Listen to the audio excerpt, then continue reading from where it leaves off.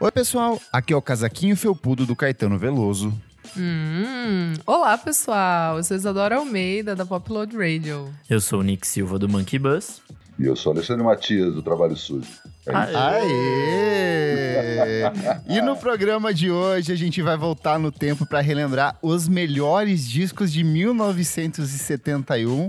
A gente tá aqui com uma pessoa que viveu essa época, que esteve lá, para compartilhar com vocês os melhores discos lançados há 50 anos. Kleber, Kleber, essa hora vai chegar. Quero ver. Eu não tenho problema nenhum com a minha idade, assumo aqui, sou do século passado mesmo. Nasci quatro Todos anos somos, depois. todos somos. Quatro anos. Ainda, né? Já já você vai ter que conviver com quem nasceu no século XXI. Quero ver quando eles forem fazer graça. Eu tô bem tranquilo. Não vivi 1971, não era nem projeto ainda. Mas, enfim, ano foda, descasso. Bora. Honrado de ser chamado para esse ano específico. Boa, a gente fica muito feliz. Mas antes o que, minha amiga Isadora? Mas antes, pessoal, segue a gente lá nas nossas redes sociais, arroba podcast VFSM. Temos também o nosso site, vamos falar sobre música.com.br. Lá fica compilado todos os episódios com as dicas do episódio em questão. A gente pede também para você que está ouvindo, é claro, se puder, passa lá no Padrim, padrim.com.br barra podcast VFSM. E se tiver a partir de cinco reaisinhos, você pode ajudar a gente, né, a se manter e vocês ganham muitas regalias por isso, como por exemplo, participar do nosso grupo fechado para assinantes lá no Telegram. Você também fica sabendo das pautas com antecedência. A gente libera episódios extras para os nossos madrinhos com muita antecedência. E claro, temos também uma coisa muito maravilhosa, que você, assinante, pode participar aqui da nossa gravação ao vivo, como os lindos Gabriel Benevides e a Maria Lua que estão aqui ouvindo a gente e curtindo a gravação, pessoal. Vamos falar sobre música, gente? Bora. Bora! 1971. Matias, você nasceu em 70 e... 75, melhor ano de todos os 75. tempos. Bom, um bom ano. Quando a gente for fazer a edição de 75, tem que ter você aqui, então. Por favor, por favor, cara. Porque eu acho realmente o melhor ano de, ano de todos os tempos da música, cara. Tem um monte de disco foda que ninguém dá atenção. Quando você olha o conjunto assim, você fala, porra. E, e, é- e tem uma questão, que é, a gente vai falar de 71 no Brasil e 71 na gringa. 75 no Brasil e na gringa é muito bom. 71 no Boa. Brasil é bom, mas 72 é melhor ainda, né? Hum. 71 é muito bom com disco gringo, mas 72 não é tão bom. 75. Depois a gente fala disso, mas vamos, falar, vamos ficar no começo da década. E o que estava acontecendo no mundo e no Brasil em 1971? A gente estava vivendo o período da ditadura militar aqui no Brasil, então o presidente militar da época era o, o Emílio Garratzu Médici, que é o cara dos anos de chumbo, foi o cara que é, a gente viveu um dos períodos mais terríveis da nossa história, foi durante o, o período que ele esteve no governo, então os anos de chumbo, fechamento do Congresso, AI-5, tudo está relacionado a ele, é um período tensíssimo. É, em 10 de janeiro da, de 1971 morre a estilista Coco Chanel e aqui começa uma coisa muito curiosa pra mim que são essas pessoas de 1800, cara, morrendo nessa época. assim. Total. então foi um, é um, um choque assim para mim porque tem muita gente incrível nascendo e pessoas muito icônicas desse, do- do- de 1800 que estão dizendo adeus, né? É, em 28 de março é realizado o último episódio do programa do Ed Sullivan Show, que foi tipo o responsável por apresentar muitas bandas icônicas, artistas da época. Ele estava no ar desde 1948. Em 6 de abril morre o Igor Stravinsky, que Meu é o Deus. puta Olha compositor, isso, pianista e maestro russo. Então, é de novo esse, esse é ponto de transição entre séculos muito diferentes. Sim. E 1971 parece ser uma coisa muito moderna, sabe? A gente tem essas pessoas de 1800 ali ainda vivas. Por outro lado, nasce no dia 16 de junho o Tupac, rapper, poeta, isso, ator norte-americano. Então, é um espaço de convergência muito maluco. Em 20 de junho vai ao ar o primeiro episódio de Chaves e desde então o SBT, quando é fundado, vai reprisando até hoje essa merda. É incrível. 3 de julho morre o Jim Morrison, poeta, cantor, líder do The Doors, então mais um do Clube dos 27 que a gente já comentou aqui algumas muitas edições atrás. Em 6 de julho morre o Louis Armstrong, também cantor, músico, ele nasceu em 1901. E nasce a Dolores O'Riordan, que é a vocalista do Cranberries, que morreu agora há pouco em 2018. Nossa, verdade. Então, recentemente. Em 17 de setembro, é, o Carlos Lamarca, que era militante do VPR, que era o grupo de guerrilha brasileiro contra o regime militar, é morto em uma emboscada. Ele tinha nascido em 1937. Em 1 de outubro de 1971 é inaugurado o Walt Disney World, o parque temático Magic Kingdom, em Orlando. Então, assim, foi a, a, o conceito da cidade de Orlando, como existe hoje, é, desse ponto turístico, foi criado nessa época por conta disso. Tecnicamente, era só pântano, algumas casinhas e esse parque temático lá no meio. Então, ele revolucionou toda essa região, assim. Muito legal, inclusive, é, ler a biografia do Walt Disney nessa parte de que ele, tipo, ele já tinha o parque da Califórnia e aí ele vai pra Flórida e só que ele começa a comprar vários terrenos e ninguém sabia quem era esse comprador misterioso. Então é muito legal de, de ler a biografia dele, quem puder ir. Em 20 de outubro nasce o Snoop Dogg, outro rapper incrível, assim, Tupac e Snoop Dogg no mesmo ano. E em 24 de novembro acontece um dos das minhas teorias da conspiração mais favoritas Cara, de todos os tempos. eu amo essa também. Eu É o D.B. Cooper, que é o cara que sequestra um avião, é, a- fi- fa- fazendo de conta que ele está com bombas ali. Ele pede uma continha em dinheiro, ele pede coletes e ele salta do meio do voo. E Cara. até hoje a gente não sabe se ele morreu, o que, que aconteceu com esse cara, se ele conseguiu se safar. Então é uma história fantástica, assim. Eu, eu sou, sou apaixonado por essa história. Que é citada no primeiro episódio do Loki, né? É verdade. eu- Sim. Muito bom. O próprio Loki, né? É o D.B. Cooper, exato.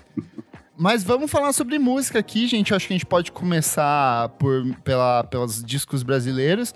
E eu quero começar perguntando pra você, Matias, qual você acha que é o grande álbum brasileiro de 1971 aqui?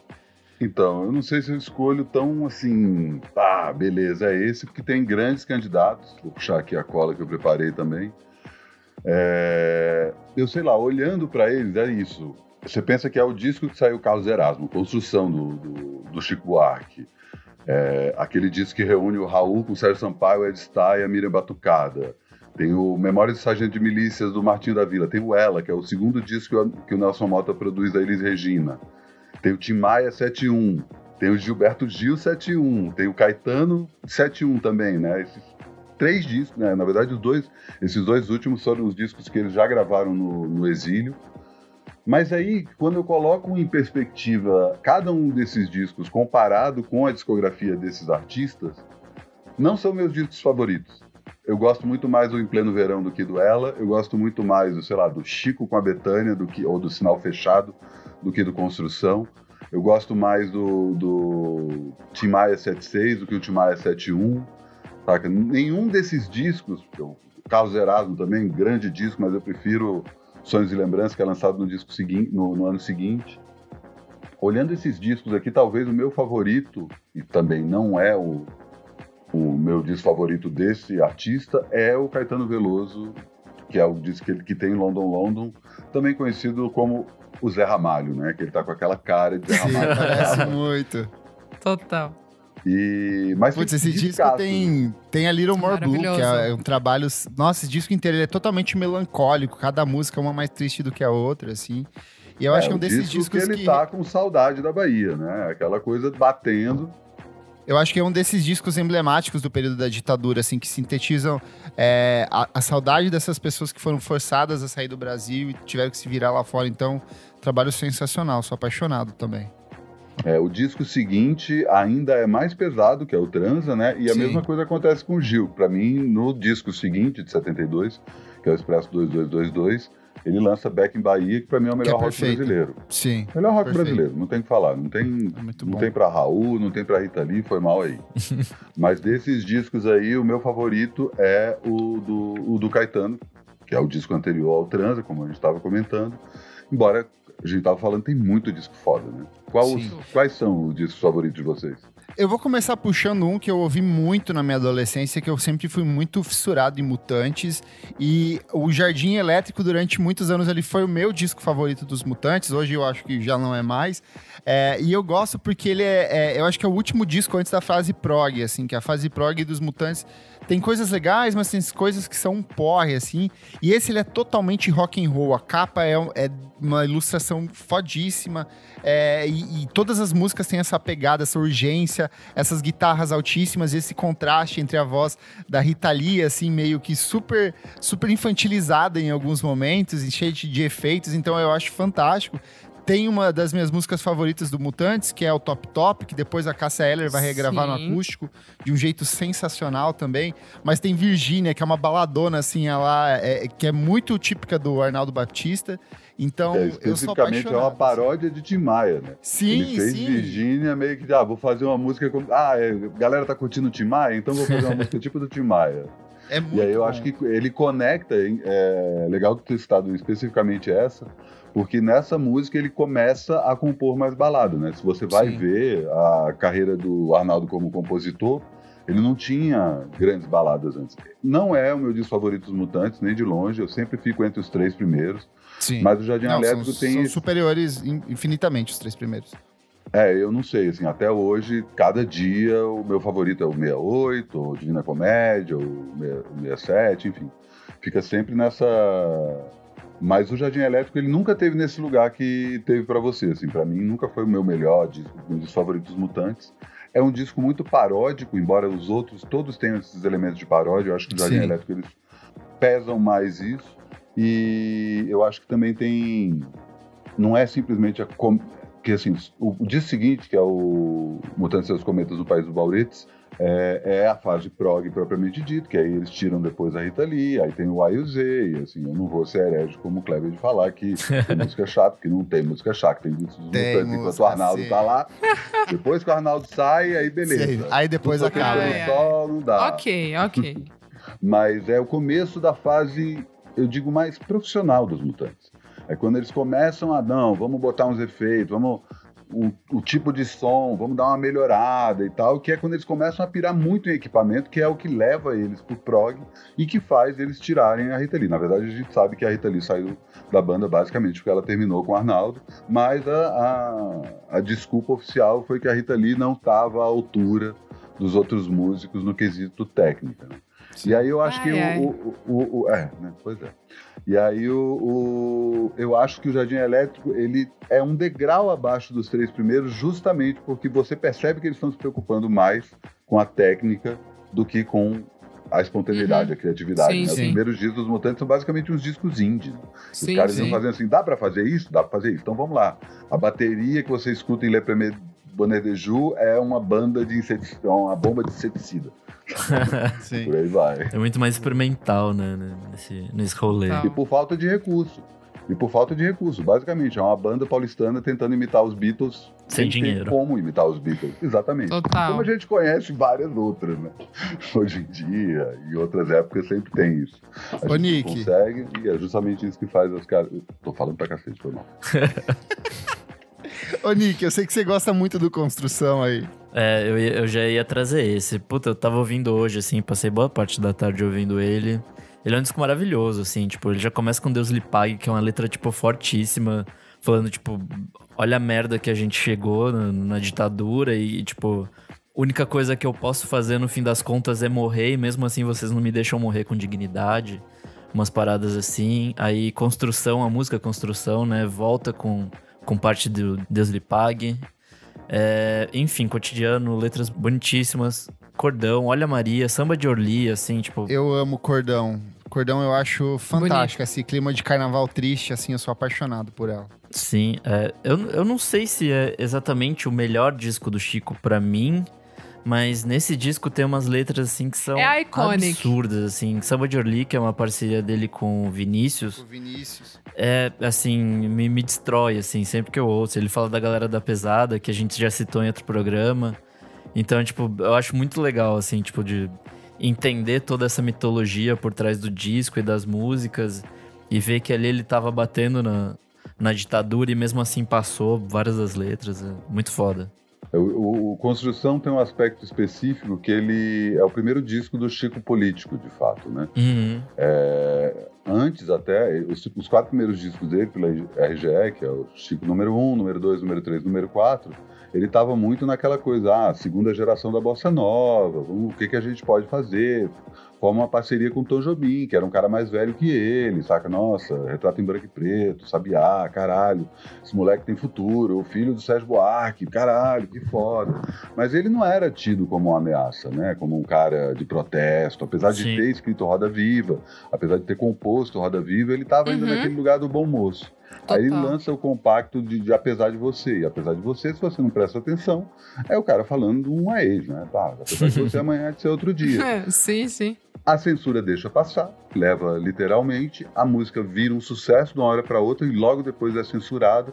E aí o Chico vira e fala: Cara, é isso. Eu é sou isso. um artista de protesto, vou assumir. E aí no Construção ele entra nisso. Eu não acho Construção nem dos meus cinco melhores discos do, do Chico. Eu gosto do disco do Chico porque ele tem uma coisa de de sair de, desse lugar. Eu sou o grande compositor da minha geração, saca?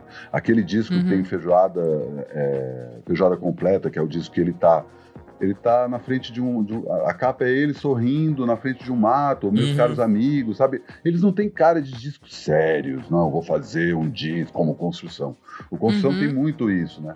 Então eu acho que ele, ele não tá nesse lugar justamente por conta disso, também por conta do conjunto das canções. Tem canções maravilhosas, mas eu acho, por exemplo, se pegar meus caros amigos, a Ópera do Malandro, Final Fechado, para mim o meu disco favorito do Chico, eu já falei, né? Fica entre o Sinal Fechado e o Ao Vivo com a Betânia. O Sinal Fechado tem a Provocação, que é um disco de intérprete. Um cara que era, ah, o grande compositor. Não, o cara não canta nada. Então tá, ele vai lá e grava um disco que todas as músicas são de outras pessoas, tirando a música do Julinho de, de Adelaide, que, que era um pseudônimo que ele usava. Né? Mas ninguém na época sabia. E o disco dele com a Betânia, né? Que eu acho que também põe esse argumento de que o Chico canta mal. Porra, põe o cara na frente da Betânia e os dois estão no mesmo patamar, assim, sabe? É impressionante. Mas o Construção é foda e tem a participação do Duprá, né? E aí uma história curiosa sobre o arranjo de construção, isso eu sei conta do, do professor Duprá, o espetáculo que eu fiz com o pessoal do Risco, é, em 2018, lá no Sesc Pompeia, eu pesquisei bastante sobre o Duprá e tem a história que o Duprá escreveu o arranjo de construção e na hora de ir para o estúdio, ele esqueceu no hotel. Ligaram no hotel e, tipo... Perderam o negócio. Foi lá e viu ali, cara, Pô. sumiu, jogaram fora. Aí ele, tá bom. Aí ele escreveu de novo. e é um puta arranjo, porra. É demais, é incrível, é incrível. Muito bom. Quer puxar, Isadora? Eu vou puxar, gente. Eu acho que da listinha do, dos que a gente selecionou aqui, eu vou de Tim Maia. O de 71 meses, né? Descanso. Eu acho absurdo. É, tem uma das minhas faixas favoritas que desde pequenininho eu gosto muito, é muito, tipo, presente na, na minha família, assim. Eu lembro muito do meu tio, que é Festa do Santo Rei. Gosto demais e começa com ela, né? Daí tem clássicos, né? Não Quero Dinheiro. É, não Vou Ficar, que eu amo, amo, amo. É, cara, é, precisa aprender a ser só, que é a composição do Marcos ah. Vale do, ah. Sérgio Va ah, essa, essa, essa é facada é... na alma. Essa, é essa é, aquela tudo. que você fala, Spotify, só as mais tristes do Tim Maia. exatamente, exatamente. É, I Don't Know What to Do With Myself, gosto demais também, que é, é do Tim com o Hildon. Então, gente, Depois esse o White Stripes gravou, né? Exatamente. Olha, ó a fake news aqui, hein? Ó a fake news aqui. Não, gente, mas de verdade, esse álbum ele é bom do começo ao fim. Delícia, adoro. Eu quero puxar uma dobradinha aqui, o Matias já citou, mas eu sou apaixonado tanto pelo que o Roberto Carlos lança nesse ano, quanto que o Erasmo Carlos lança esse ano. Roberto lança uma. É praticamente uma coletânea de clássicos da, da, das senhorinhas e das moças apaixonadas. Tudo. Que é o álbum homônimo dele, que tem detalhes, todos estão surdos, debaixo dos caracóis dos seus cabelos. É hit atrás de hit, é um descasso, assim, gosto bastante. Acho que foi um dos primeiros discos de vinil que eu consegui comprar, assim, num, num sebo da vida. Então, foi, foi, foi incrível. E o Erasmo também lança um outro trabalho sensacional, que é o Carlos Erasmo, que já logo na sequência, assim, logo nos primeiros minutos, você tem De Noite na Cama, você tem É Preciso Dar um Jeito Meu Amigo, fecha com Maria Joana, que durante muitos anos foi uma música tecnicamente escrita sobre maconha e que passou despercebida por muita gente. Então eu acho que são dois trabalhos incríveis de dois caras que já tinham vindo de uma sequência de obras muito boas. Eu acho que o Inimitável ainda é o meu disco favorito do, do Roberto, mas aqui, assim, é, é, é, E é legal porque esse disco é o que vai, tipo, apontar tudo que o Roberto Carlos vai fazer é, pelos próximos anos, assim, que são essas baladas românticas, essas coisinhas meio que pra seduzir mocinhas e senhoras, assim. Sou, sou apaixonado por esse disco. Eu não Bom tenho demais. disco favorito do Roberto Carlos, assim, fica flutuando o tempo todo, mas atualmente esse é o meu disco favorito.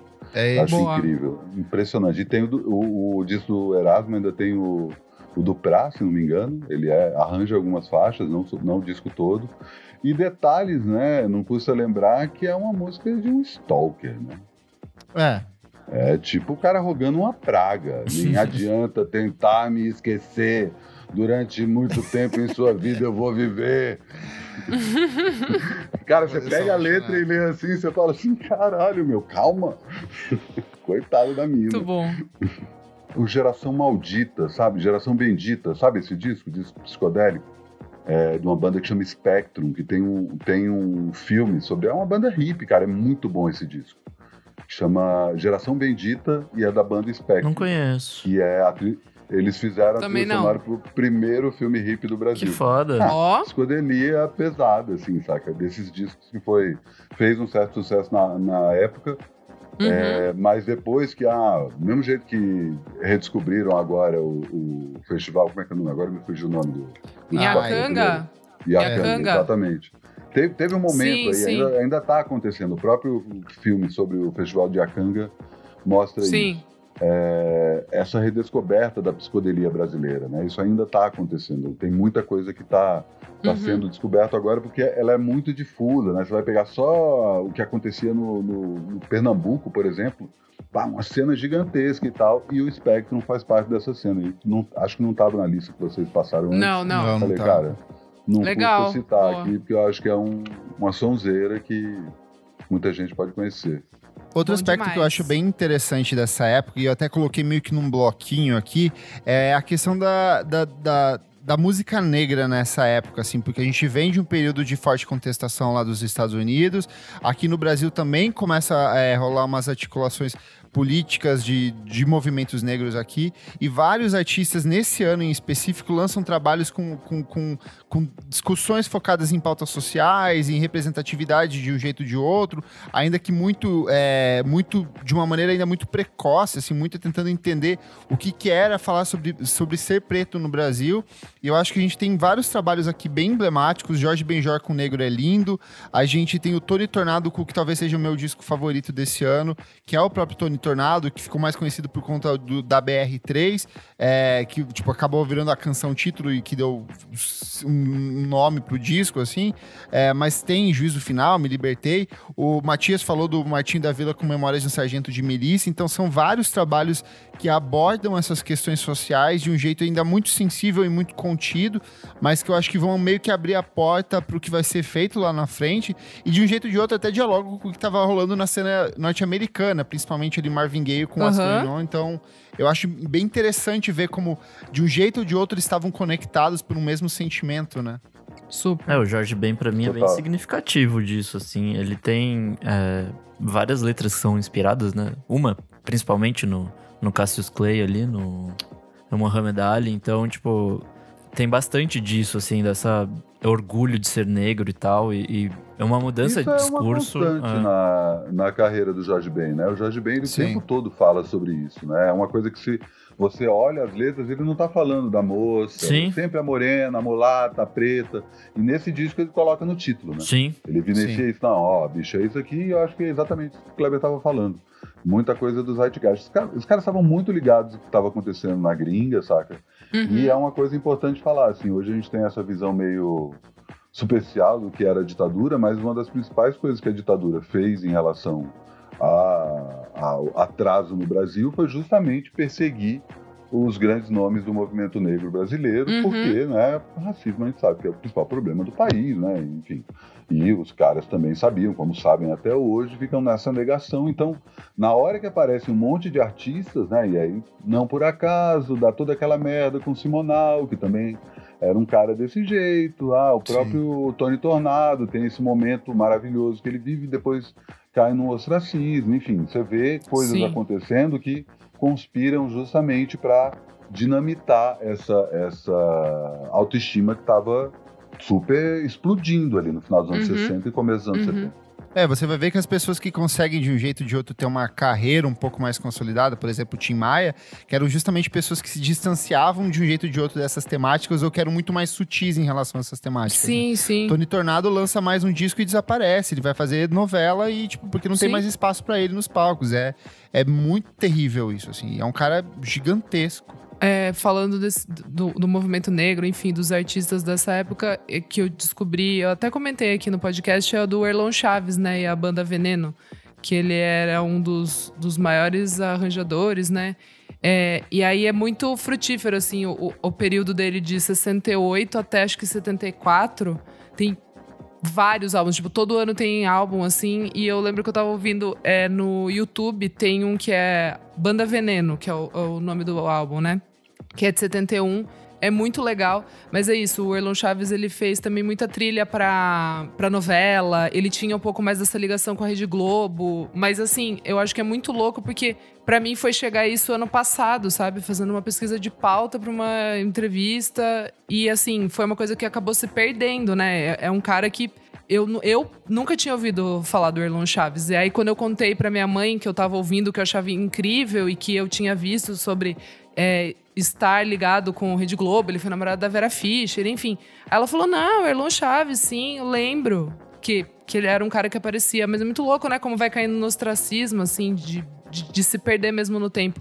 E eu recomendo, que é muito bom, assim. Então, acho que o pessoal. é, esse álbum que eu tô falando não tem em plataforma de streaming, pelo, pelo menos eu não achei, mas tem no YouTube, então vai atrás pra vocês ouvirem. É, Esse aqui? a- não, amigo, acho que esse é de 72. É um que é. 63. Cê- Ah, você tá falando de É, 71. Um de, se- tem um de 71, que é, é Erlon Chaves e sua banda Veneno, é, de 71. Tá no YouTube, mas ouçam todos, todo esse período que é muito interessante. E essa separação que é feita entre a música black, soul music, samba, e assim, você também vê que, tipo, isso estava acontecendo, essa transformação da autoestima racial está acontecendo em vários níveis, em vários gêneros musicais, sabe? Isso não é uma coisa específica dessa música que é influenciada diretamente pelos Estados Unidos. né? Uhum. E também por uma questão de, do mesmo jeito que Isadora está tá ouvindo o Erlon Chaves 50 anos depois, é um projeto de apagar essa, é, é, a importância desses artistas, sabe? Porque a gente não entende, por exemplo, é, isso que está acontecendo em relação à, à questão racial como um movimento só, saca? Uhum. Por que, que a gente tem que falar também do disco do Martinho da Vila? A gente tem que falar também do. O Paulinho da Viola tem disco 71? Não lembro. Tem, tem, eu- tem. Paulinho da Viola tem, tem sim. Enfim, é, provavelmente, eu não vou lembrar qual é, é, também tem. Ó, é, eu tô dando uma olhada aqui. Tem o disco do Tony Frank, ori- o Exportação do Originais do Samba, Dom Salvador e Abolição fazendo som, sangue e raça. O que mais? O Paulinho da Viola tem um álbum homônimo de 71 também. Eu não vou lembrar qual é, mas se você for ouvir cada um desses discos, a questão negra tá ali, tá. Não Uhum. tá mais como metáfora, não tá mais como referência. Ah, não, a gente fala um pouco disso. Não, não, é assunto presente. Boa. Sim. Nick, Bom, agora eu vou pro outro lado, então eu vou com o som que os brancos roubaram dos negros e transformaram em outra coisa, que é Nara Leão, com 10 anos depois. É um disco lindíssimo, ainda da Bossa Nova, né? A Bossa Nova acho que já tava em- meio que embaixo né, nessa época, talvez. Mas é assim, é um disco que basicamente tem tudo, assim. Tem, tipo, gravação de insensatez, samba de uma nota só, corcovado, garota de Ipanema, é, fotografia, desafinado, minha namorada. Enfim, é tipo, basicamente todos os letristas ali da, da época da Bossa Nova deram as letras pra Nara e grava. E é tipo, é um disco maravilhoso, assim. são os arranjos muito bonitos, são tipo, mais simples assim, né? E a voz dela tava impecável, então é um, é um bom registro para para lembrar assim o que foi a bossa nova e numa voz lindíssima, né? Boa. Quero puxar um aqui que também foi uma descoberta tardia e é curioso como a gente vai descobrindo isso por indicação de gringo, que é a Rosinha de Valença com o violão Amigo! em primeiro plano. Exato, eu ia falar a mesma e coisa. veio pra mim por causa de Bandcamp. Eu acho que foi relançado no Bandcamp, assim, saiu em vinil lá fora, ou coisa do tipo. E eu falei, caralho, como que eu nunca ouvi Sim. falar dela, assim? E aí, de repente, de uns dois, três anos pra cá, desde que eu comecei a acompanhar o trabalho e tudo, tudo relacionado a ela, vários artistas citando, o Kiko Dinucci no último álbum dele de estúdio citando ela, referenciando, e é sensacional, assim, ó, é, é uma violonista, é muito à frente do tempo, é um som muito gostoso, eu acho que dialoga muito com o que o Baden Powell vinha fazendo ali também, então meio que se completam, só que ela é de uma versatilidade absurda, assim, de um domínio técnico do violão de um jeito muito espantoso. Fantástica, fantástica. Eu acho que tem. Essa tá em todas as plataformas. Vale muito ouvir Sim. que tá, tá bem acessível. assim. E, e vai sair agora em vinil esse álbum. Eu não Nossa, lembro quero por muito. qual.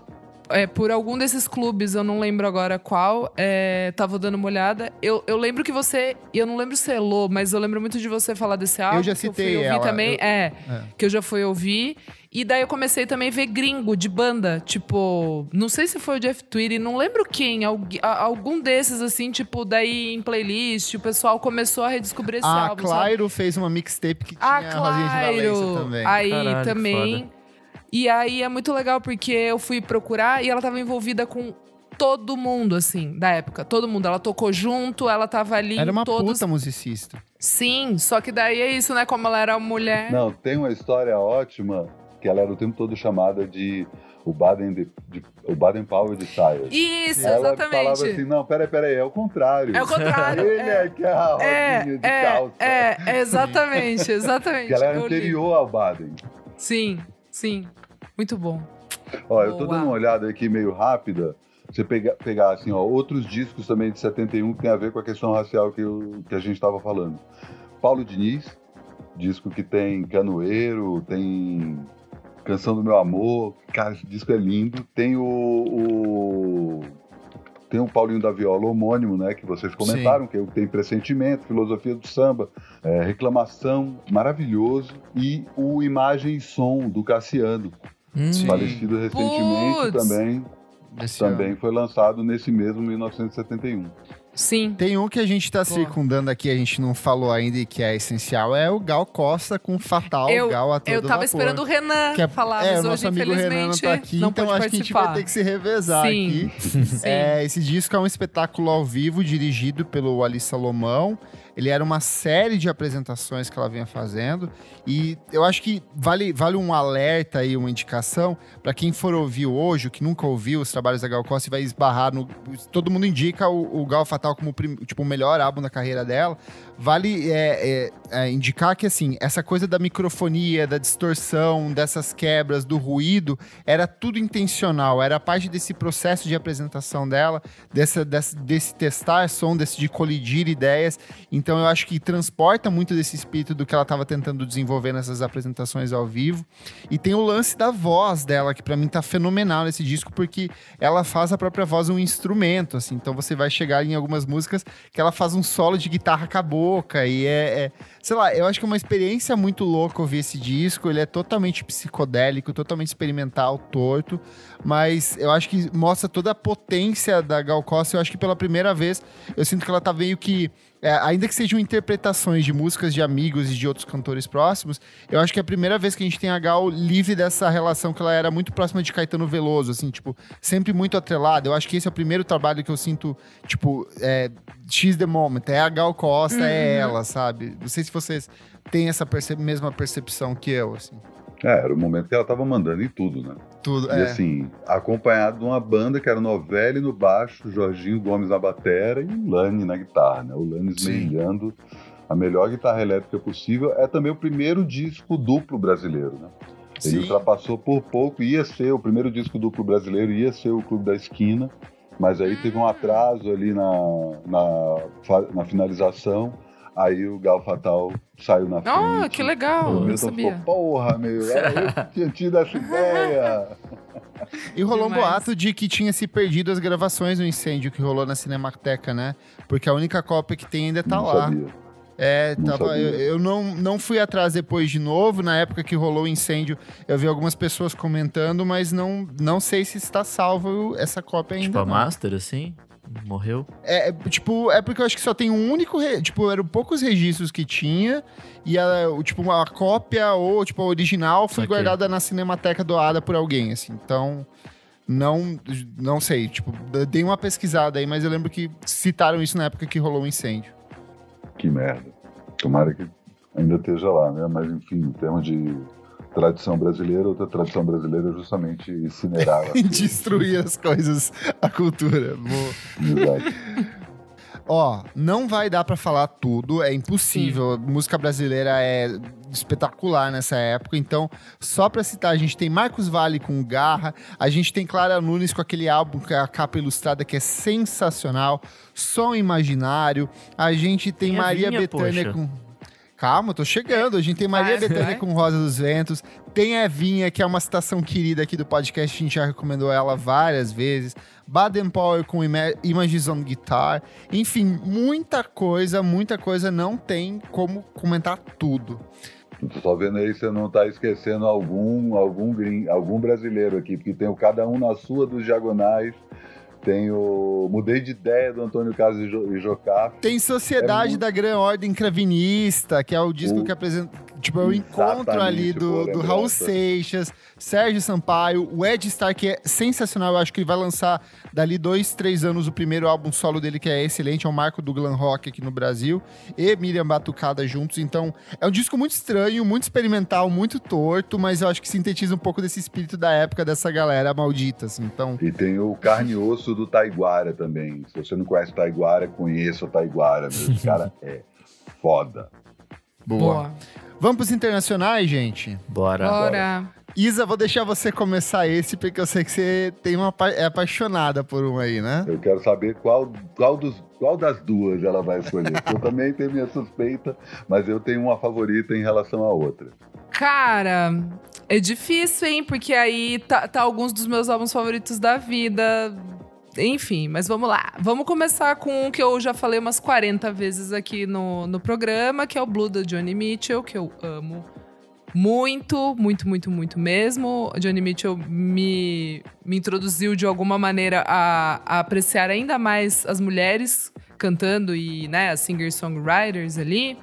É, eu acho Foi você que um descobriu ela por causa do James Blake? James Blake, foi, amigo. Verdade, Foi. verdade. O cover de A Case of You, que daí eu fiquei tipo, meu Deus, essa música é muito melhor do que todas do James Blake. daí eu descobri o nome dela e aí cá estou. É muito fã. É um 10 de 10 da Pitchfork, então aí quem gosta dessas, dessas zoeiras boas é um 10 de 10.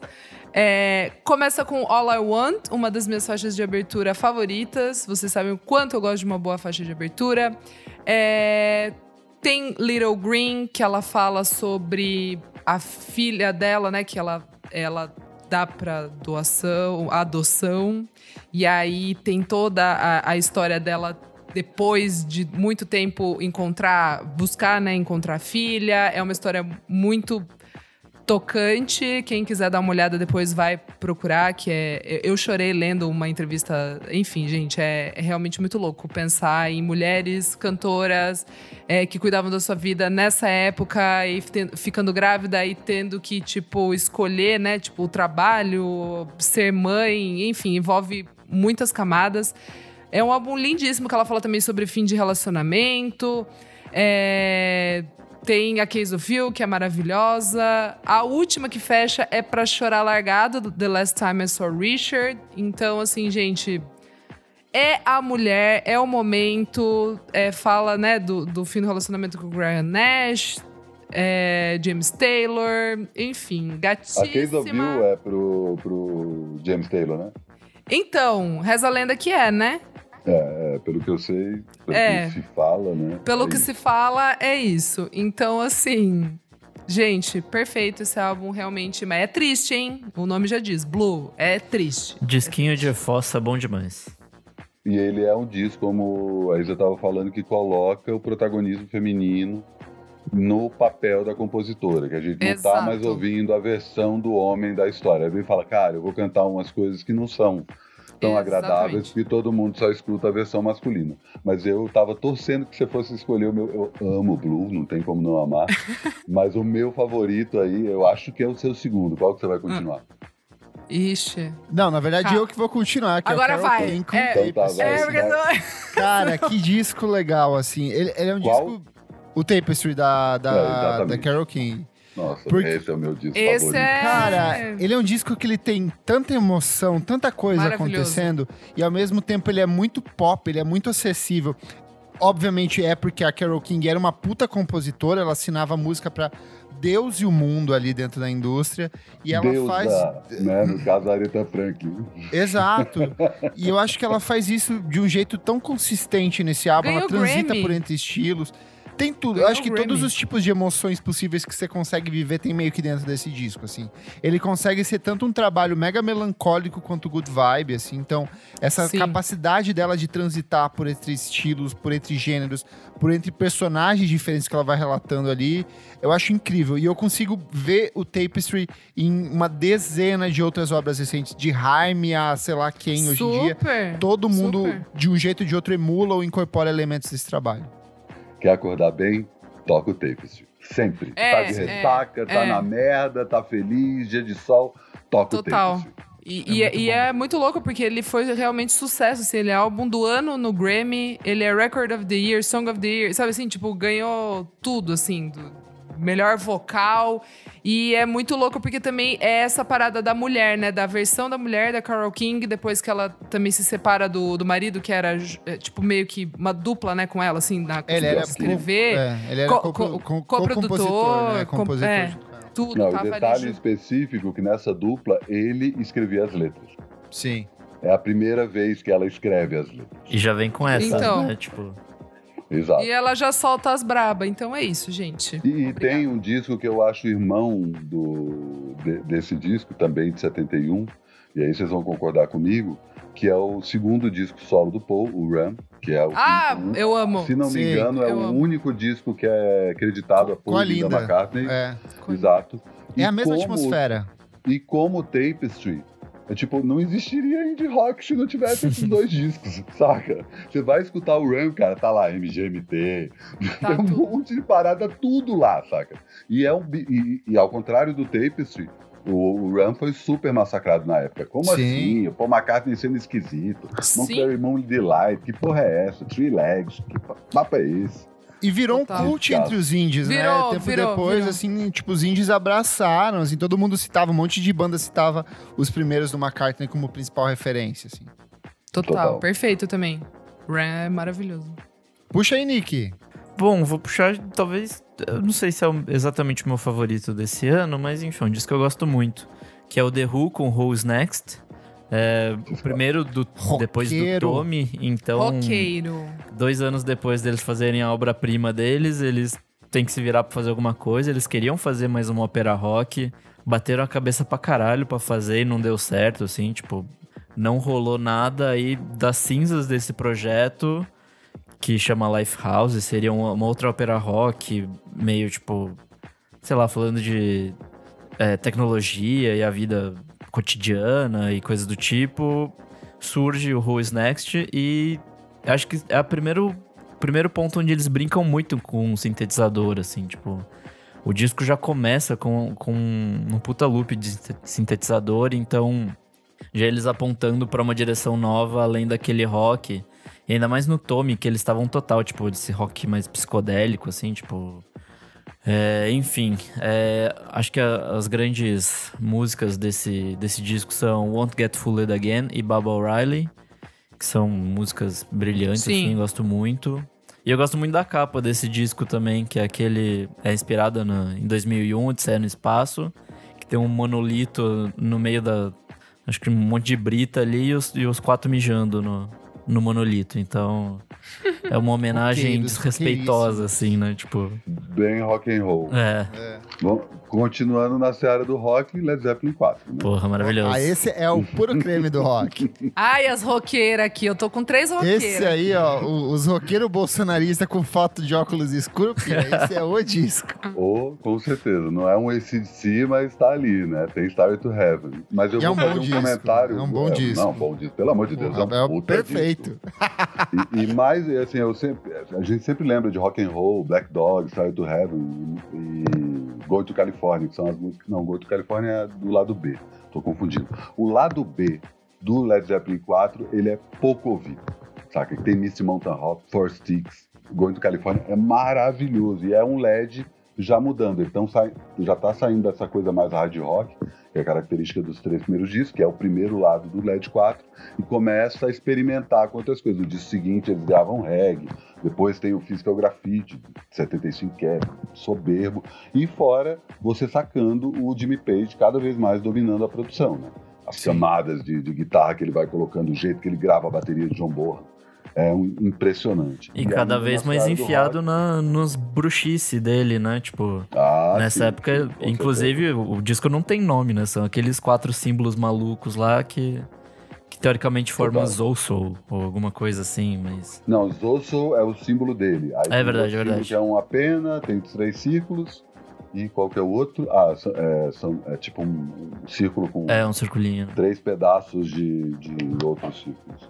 E nessa mesma seara, Stick Fingers dos Stones. Né? É, Nossa, total. maravilhoso. Vamos, vamos nessa, Matias. Aí Vamos junto pira. de mão dada. Eu piro nesse, assim. Nossa, eu acho. meu, é muito É foda. muito foda. Tipo, mas é, é- mas é inteiro, assim. É, é dos álbuns do- dos Stones que é bom demais, cara. Mas vai na, vai na sua. Ele começa com Brown Sugar e, ter, Não, e termina começa com... pela capa, que é sensacional. Começa pela- assim. Exatamente. Warhol, né? É. E, e tem o zíperzinho, né? Eu vi Tem umas versões uma, antigas que tem, né? Zíper, Então, tipo, isso que eu ia falar, eu vi uma de 71, do pai da minha amiga. É, Ele eu era fã dos Stones, e aí eu. Ah, meu Deus! E aí, tipo, tem assim, o zíperzinho. E ele tá em muito bom estado, ou seja, deve valer uma fortuna.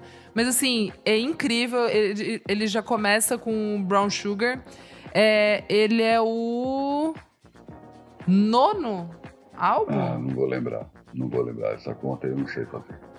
Eu acho que é, não, não tenho certeza agora. É também um 10 de 10 da Pitchfork. E, gente, ele termina com Moonlight, Moonlight Mile, que assim, é Eu a colocar.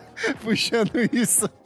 Todo Ah, mundo- 10, 10 da Pitchfork, é de 10 antes de existir a Pitchfork, porra. Então! Ah, Matias, é, é uma zoeira aqui, nossa, da- Ok, da- das ok, tá notas, chegando, assim. Não tô sacando a piada interna. Não, não, Tudo mas bem. não, mas é, mas é, é- não foda-se. Mas é isso. É, e gente É que eu não com uso ironia, Isa, então tem esse problema. Quando você começa a usar ironia, aí tipo, fica. Você se perde. É um personagem, é um personagem. É, bom, tem Wild Que é maravilhosa, maravilhosa, maravilhosa. Tem Sister Morphine, que é escrita pelo Jagger, pelo Richards e pela Marianne Faithfull. Termina com Moonlight Mile, que tem no Sopranos. E é, tipo, nesse episódio eu quase chorei quando começa essa música, porque eu falei, é isso, gente, é sobre isso. Então, assim, é a roqueiragem, mas é antes da loucura extrema do Exile on Main Street, que daí vem no outro ano. Então, assim, é um dos ápices, assim, tipo. É que esse disco eles estavam, tipo, meio que fudidaço, né? Tipo, tinha acabado de dar De aquela sua- merda no, no festival lá, que em Tudo, Alt- Altamont, tudo. que morreu. Ah, eles contratavam a galera do Hells A Angels, né? galera, Pra, pra fazer eles estavam, Não, contrata... França- não, contrataram pra fazer. Não, é daí que vai pro. Daí que é o do Exile, que é no ano seguinte. É, É, eles foram toda pra uma. França porque, tipo, o, o empresário, tipo, é, passou a perna Não, foi- neles. Não, eles não foi fugido pagavam táxi. Não, é É, táxi. É, é imposto. no- É imposto. Era tipo 40% do que Sim, sim. ganhava. eles iam ser presos, eles foram pra lá. Mas isso daí já é um, um pouquinho depois. É um momento. Já, tipo, já lançou o Stick Fingers, assim. É, Não é, não é uma, não, não é uma fase super. Ah, o Brian né? Jones É morreu fase- em 69. Já ali, tá né? tudo fodido, assim, de. Só que eles estão lançando os Rolling Stones Records, né? É o primeiro Sim, disco sim. lançado pelo selo deles. É o disco em que eles lançam a, A boquinha a boca com a com a língua língua. pra fora, que vira o símbolo deles. E pra mim, a melhor fase dos Stones é a do Mick Taylor. Desculpa aí os fãs do, do, do Brian Jones, que é fundador da banda, mas quando o Mick Taylor entra na banda, Sim. aí começa uma sequência que é o It Bleed, é, Sticky Fingers, Exile, Black and Blue, Ghost Tô com você, Cara, tô com você, tô com. Mas você. alguém, alguém discorda disso? As pessoas acham que não é a melhor fase? Ah, né? às vezes, Não, por ser fundador, sei lá, curte. é. Ah, não, não, não, e porque os Stones também tem essa coisa de ser banda de single nos anos 60 e tipo, meu, Ah, você vai tá. pegar. É, é, é. Não, é que Stones não dá. Stones, é, cara. Stones não é dá. muito foda. Stones é foda. muito foda. É absurdo, é absurdo. Poderia ficar falando aqui muito tempo, gente, mas é isso. Dá play no Stick Fingers. Vou puxar aqui, ó, um que vocês sabem que eu sou cadelinha do Beach Boys. Em 1971 eles lançam um álbum que é sensacional. É minha, é- é- eles são, eu acho que o Pet Sounds é o meu disco favorito de todos os Mas tempos. esse álbum é absurdo. Mas o Surf Up, ele é, é tão genial e tão experimental e tão maluco quanto, é assim. Pra mim, ele tá ali lado a lado. É, é o Beach Boys num lance totalmente experimental, psicodélico, com orquestrações, com arranjos de corda, com experimentação de música erudita. Brian Wilson, mais uma vez, louco e testando coisas ali o tempo todo. Tem uns fletes com prog em alguns momentos. É um trabalho totalmente maluco. Eu acho que ele é muito estranho pra quem vem dessa parte mais litorânea do Beach Boys. É- Sim. a capa é totalmente A capa, sombria e eu é. acho que sintetiza muito disso. E é um trabalho tão sensacional quanto, assim. Sou completamente apaixonado por esse álbum. E a faixa título, né? Pelo Sim. Nossa, perfeito. tá louco. Você é louco, bicho. Que termina, Ah, que bom, eu que pensei que, o álbum, sozinho né? nesse. Imagi- Amigo, eu, eu reouvi hoje, fazia bastante tempo que eu não ouvia. Puta que pariu, aquela Student Demonstration Time, que tem aquela coisa também da, da rebelião, né? Da tipo da revolta, que eu acho que é muito do- de 1971. A gente tem que falar. Uma coisa em comum que tá em todos esses álbuns que a gente tá falando, essa rebeldia de querer uma coisa Sentimento de revolucionária, angústia, né? de mudança, De angústia, exato. A capa do Surfers Up, eu acho que é tipo assim, é iconic nesse sentido de é meio que um, cava, um, né, um cavaleiro, assim, tipo, uma pessoa tá meio. É meio Meu- gótico a parada, assim. É uma tipo, escultura, ela é uma re- recriação de uma escultura de um cavaleiro, assim, tipo, meio. Meio caído, é, então, mas é uma imagem que você olha, assim, tipo, passa uma coisa meio pesada e o nome não é pesado, então é- tem essa dualidade, assim, que eu acho brilhante. Esse álbum é muito foda. E que acho que vale falar da época também, que, tipo, meio que o movimento hippie deu errado, né? Então a galera tava tentando se reinventar É nessa a bad trip. É. É. a bad trip de vários. É a ressaca. E, tipo, sai Nossa. muito disco pesado nesse ano, incluindo o Black Sabbath com Master of Reality, que é, tipo... Outro disco. Ó, o rock. Falou em rock, Ó o o Matias. rock. ele É, já- É um disco fudidaço e meio que falam que ele fundou o Doom Metal, o Stoner e o Sludge. Então, assim, tipo, pouca coisa, né? Pra um, pra um disquinho só. E é um disco que começa com Sweet Leaf. Porra, meu, olha como o disco começa, meu. É isso aí, dá a torcida, vambora, o maior riff de todos os tempos. E tem Planet Caravan também, que eu amo. Versão Favorita! o Favorita Poolside aqui, fez. Matias. Você ouviu, né, já o remix que o Poolside fez pro, pro Planet Caravan? Claro. Eu ouvia isso na Noi, eu ouvia isso na Noi e eu ficava tipo, tá tocando. Uh! Black Sabbath na balada. Perfeito, perfeito, perfeito. Eu vou continuar nas guitarras, é, mas vou dar uma, uma groovizada também. Eu vou falar do Maggot Brain do Funkadelic. Ah, é o meu álbum favorito da lista. Então, assim, junto com o Johnny Mitchell. Então, vamos lá, Matias. É o meu é favorito. impressionante. Não é o meu disco favorito do Funkadelic. Esse Meu aí é. é. One Nation Under the Groove, tá lá. Mas Maggot Brain tem esse momento aí de, de especificamente o solo do Maggot Brain, né? Aquela Arrepios. coisa que é o épico, Arrepios. tipo, se vocês estão sendo caricatos com o termo roqueiro, talvez seja a coisa mais rock dessa Sim. lista. É o solo de. Maggot Brain e eu tô falando de uma Sim. lista que tem Sweet Leaf, Starry to Heaven e Top Top. Sim, sim. Mas é que é isso, né? Tipo, ninguém. É, assim. Ninguém leva é, o nome do, do Ed Hazel pra esse lugar de ser um dos maiores guitarristas da história, assim. então, falar. tipo, ninguém fala. E, e eu acho que esse, tipo, eu sou completamente apaixonada por esse álbum. Tipo, comple eu maluca, ele tem tudo que eu gosto, assim, de de ser essa coisa psicodélica, mas ela tem o que o, o que o George Clinton falava que é o loud R&B, né, que ele, ele dizia que é, é isso, assim, o som deles, é no Funkadélica, principalmente no, no Mago Brain, é, mas tem também é, é, essa... Esse sonho é uma coisa meio de, de tipo revolta, mas, ela, mas eles estão sonhando ao mesmo tempo. A capa é uma das capas a capa mais é sensacional, uma das icônicas. melhores capas de todos os tempos, gente. Eu quero muito comprar esse vinil ainda. Também. Tá- tá- não Você sabe que eu tá fui na- eu, eu já tinha ouvido assim Funkadelic, porque tipo é um desses discos essenciais, mas eu acho que eu só parei de fato pra ouvir quando o Slig Bell sampleia no primeiro disco deles, ele sampleia o Can You Get That? E é Nossa! na Real Real, a, base da Real Real é essa música. E aí eu falei, Nossa, putz, preciso ouvir de, de novo essa banda. E aí falei, putz, é sensacional o que tá rolando aqui. Não, é absurdo, de verdade, assim. E tem faixas que. A primeira faixa tem- que é Magot Brain, que a gente tava falando aqui, que o Matias tava falando que é um dos melhores rocks da, da lista, tem 10 minutos. Mas é um álbum que funciona super bem, assim. Ele não, ele não empapuça em nenhum momento, tendo loucuras, assim, tipo, lisérgicas muito boas. É muito bom! É muito... E aí, de novo, ele é parte dessa frente de artistas negros que estavam revolucionando a, a música na época e que muitas vezes foram, durante anos foi meio que posto em escanteio, mas que agora tá rolando toda uma onda revivalista de entender o que, que esses caras estavam fazendo. E aí vai desde o Marvin Gaye com What's Going On, que, que é, Ah, é álbum, fantástico, é, que foi agora recolocado como o disco do top 500 lá da Rolling Stone, que eles refizeram, colocaram ele em primeiro lugar. Mas a gente tem muita coisa. Tem Sly and the Family Stone, There's a Riot Going On, é Pelo amor de Deus. fantástico. Ver o show deles. Eu, eu, eu custo acreditar que teve um show deles no, na virada cultural aqui em 2012. Foi muito surreal isso. Teve também a Alice Coltrane, que eu sou apaixonado. Ela lança dois álbuns excelentes foda. esse ano. O Journey É, é, o Journey- ótimo. Cara, o Journey é, é sensacional e Universal Consciousness são dois trabalhos de spiritual jazz, mas de um jeito totalmente experimental, com uso de vozes, coros. Também foram relançados recentemente, são sensacionais.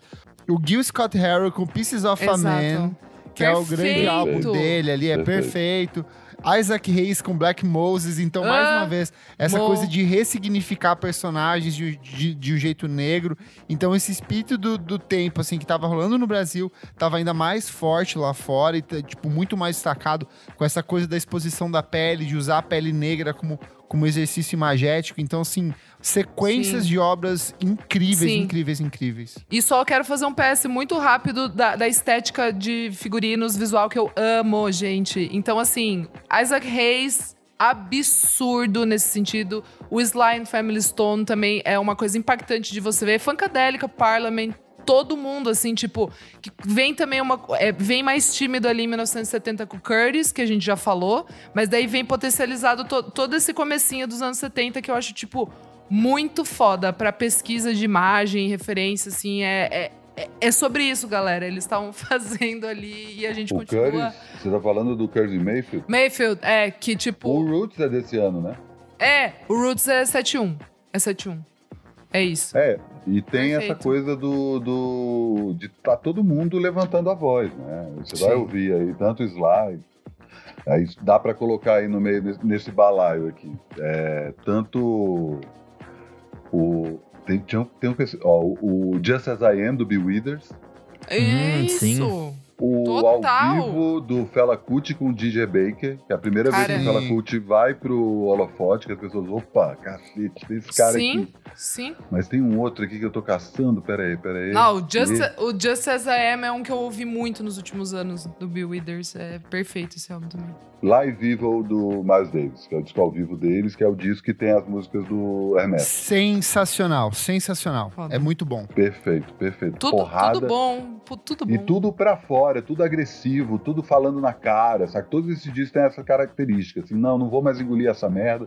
Pô, se É. pensar, a gente falou só superficialmente sobre Pieces of a Man. Cara, tem Revolution Not Be Televised, tem Space Jam do John Coltrane. Sim. Sabe, você vai pegar ali, cada música é um universo inteiro que tá escondido. E assim, eu não sei se é a formação indie do Kleber que vem falar desse que, ah, não, estão sendo recolocados, mas esses discos sempre tiveram no topo.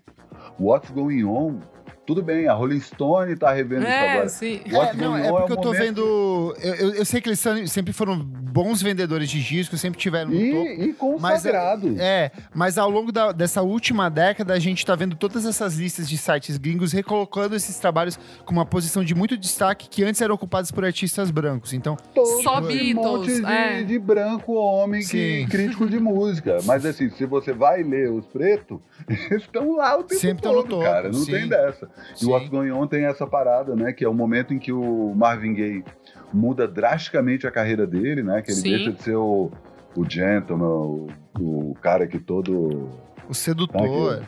Exato. E aí ele vai pro. Ele, ele, ele enfia o pé na merda, ele perde uns amigos, né? Ele vê um amigo morrer num protesto.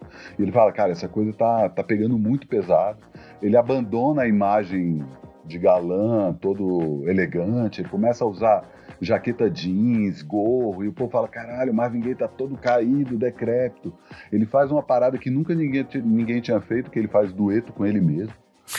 Sim. Ele põe ele pra cantar com ele mesmo. Ele fala, cara, o cara é completamente ególatra. Ele como dobra a assim? voz, Puta que né? pariu. Tipo, num, Pois num é, tom cara, abaixo, é assim, impre- maravilhoso. É impressionante. Quem, quem melhor pra fazer dueto com o Marvin Gaye não o próprio E a Marvin gravadora não queria lançar na época, porque achou o disco muito experimental, muito. Ele, ele tava na Motown na época, não era? Gaye. É, é o Barry God, é o Barry God. É, Ele- não, quis- ele, ele pegava a filha do Barry. É, é, foi tipo um Nossa tempão Senhora. pra poder lançar, porque era totalmente longe da estética dele, daquela imagem, da imagética do, do que foi construído do, do Marvin Gaye.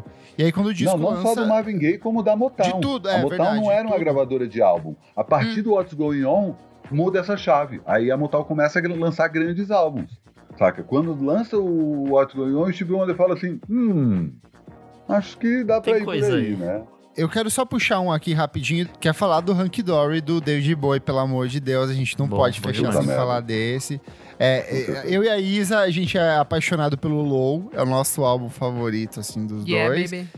E aí tem o Rise and Fall of Ziggy Stardust, mas pra mim o Hanky Dory tem uma puta concentração de hits e de músicas muito icônicas. Abre de uma forma é, fenomenal com changes. E aí você vai seguindo pra é, You Pretty Things, você tem Life on Mars, você tem tanta coisa rolando aqui dentro. A, a imagem de capa é muito icônica dessa coisa de ser uma fotografia pintada, assim. Então, tudo, é, essa coisa da androginia, que ia ser ainda mais explorada no ano seguinte. Então, eu acho sensacional. É outro trabalho muito icônico do, do Bowie. Eu vou falar de dois discos que moram no meu coração, ninguém tira eles lá de jeito nenhum. Um é piegas, é brega, né? Por conta de quanto que Imagine tocou no rádio, né? O quanto que Imagine foi usado Ah, mas esse álbum é brilhante. Mas que disco maravilhoso, que disco maravilhoso. É talvez o forte candidato a melhor disco de um Beatles solo. E tem um documentário no Netflix que conta a história desse disco. Sim. A Isa recomendou já, né? Recomendei, Isa? recomendei. é muito foda. E o outro é o segundo disco do Nick Drake. Maravilhoso. Puta merda, Hater, toma no hater. Ba- Eu não, não tenho Palmas. palavras pra Palmas. dizer o quanto eu amo esse cara. São poucos os homens que eu amo e o Nick Drake é um deles. Esse é cara, eu sou completamente apaixonado por esse cara. Ele me toca num ponto muito específico. A sensibilidade dele Sim. é completamente diferente do que estava acontecendo na Inglaterra na época. Se Sim. conecta com essa sensibilidade da Johnny Mitchell, da, da. Carole King. E, cara, é um disco expansivo de um cara introspectivo. O primeiro disco dele, ele é muito pra dentro, faz, o Liv- Lives Left, né, que faz a referência quando tá acabando a seda ali, né, só faltam cinco folhas. Que é um disco quase folk e tal, e o, o último disco é o Soturno Pink Moon, que Pink é ele Moon, voz é. e violão. Esse disco, ele se junta com a cena folk inglesa da época, que descobre e fala assim, caralho, que cara foda.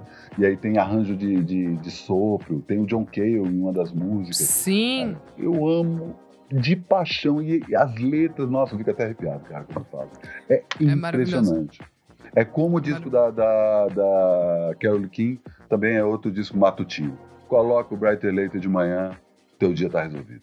Vou só citar aqui, ó, porque de, de novo não dá pra falar tudo. T-Rex com Electric Warrior, um dos clássicos Clássico. do glam rock. A gente tem Serge Gainsbourg com Story the Melody Nelson, Amo! outro trabalho. a Primeira- gente não pode Primeira ópera rock francesa. A gente Pelo tem que de falar, não Matias. A gente É tem que aí, falar. cara. Primeira Meu. ópera rock francesa. Jenny Burke, maravilhosa, saca? Serge Gainsbourg, camadas e camadas de provocação. Ópera Uma pessoa- rock! Não é que eu sou. A ópera rock é só um detalhe, meu. Olha 10 na como o cara tá Pitchfork. provocando. 10 na Pitchfork! Acho 10 que a na Pittsburgh daria um Pitchfork! 9,5 pra isso aí. Deixa eu ver, eu não vi, eu não vi. eu. Tem Leonard Cohen com Songs of Love and Hate, que é sensacional. Que eu acho que é outro que também dialoga com a mesma sensibilidade que você falou do Nick Drake e da Total. Johnny Mitchell. São sentimentos compartilhados ali. Tem Elton John com Madman Across the Water. A gente tem Cat Stevens com Teaser and the Fairy Cat. A gente tem Harry Nilsson com Nilsson Stimilson, que é muito bom. Maravilhoso. David Crosby com If I Could Only Remember My Name, que é outro que é sensacional. Gente, não dá pra citar tudo, vai Medal do faltar. Pink Floyd, cara. Medal do Pink Floyd. O disco que finalmente coloca o Pink Floyd nos trilhos e fala assim: vamos pra lá. Tem Tagomago do. Ken, que também é outro... do Can, Ah, cara. É muita coisa boa. Pra quem muita gosta coisa do- boa. dos prog, tem Yes com Fragile e The Yes Album, que Yes são lança dois Yes discos de... De- Yes é, Tem dois discos. Frutal com, com Aqualung, que é muito bom também. Putz, bom demais. Só coisa boa. E É aí, isso, eu não sei gente. se tava no plano de vocês comentar a série da Apple, né? Eu já falei, eu fiz- explodiu a minha cabeça, assim. muito tipo, bom, muito bom. É, é a melhor série do ano, na minha humilde opinião, assim. De Até contexto, assim, tá do que foi mesmo. aquele ano é absurdo. Nossa, o que, que é assim, tipo, aquilo? Não, meio jeito também que eles. co- Nossa, achei foda. É, eles pegam então. artistas diferentes e colocam num contraponto. Você vê um em perspectiva do outro e fala assim: Tu- nossa, tudo a ver. É demais. É Perfeito. demais. É absurdo, absurdo. Boa. Gente, chegamos aqui ao encerramento desse bloco. Não deu pra falar sobre tudo. A gente falou sobre as coisas que a gente mais ama e é o que tem pra hoje, paciência. Mas você pode ir lá no nosso Instagram, na edição deste episódio, no arroba podcast VFSM, e contar quais são os seus discos nacionais e internacionais favoritos. Alexandre Matias, suas redes sociais, seu serviço, onde as pessoas te leem, te encontram e fale sobre a Universidade de Trabalho Sujo também. Esse espaço é seu. Arroba Trabalho Sujo nas redes sociais. Fiquei um tempo aí meio longe dessas redes. Comecei em 2020 com o plano de me afastar das redes sociais. Aí veio a pandemia, blá blá blá. E aí eu virei youtuber. E aí tô lá no meu canal no YouTube. Se digitar meu nome, eu Trabalho Sujo no YouTube, tem dois canais. Um famoso canal que eu filmo um monte de show interminável, acervo gigantesco. Eu E amo. o, e o outro, o canal também, um acervo gigantesco, são dezenas de programas que eu tô fazendo lá. Então pode me seguir, siga, aperta o sininho, dá like no vídeo, comenta, isso tudo ajuda a compartilhar. Segue no Instagram pra ver stories torto. Então, pois é, na verdade. Adorei esse comentário, cara. Eu, eu retomei o Instagram que eu tava parado. Eu falei, cara, eu preciso retomar porque justamente eu tô fazendo agora a Universidade de Trabalho Sujo, já falo disso. Eu falei, cara, eu preciso re- voltar a fazer. E aí eu nunca curti stories, né? Só que aí eu comecei a me ligar quanto o Reels é uma cópia do TikTok, né? E tipo, ah, tem uma coisa que vai vazando. Eu não vou entrar no TikTok. Eu entrei no TikTok em 2018. Aí falei, cara, não é pra mim, tô velho.